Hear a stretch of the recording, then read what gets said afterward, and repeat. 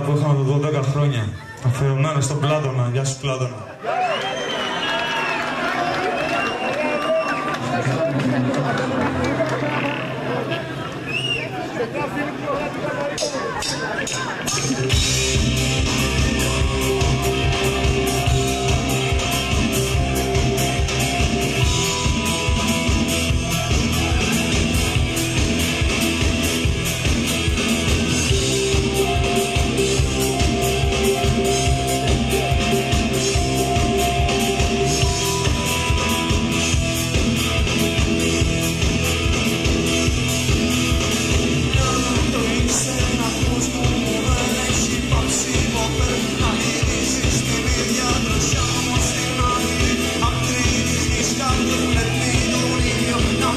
She's.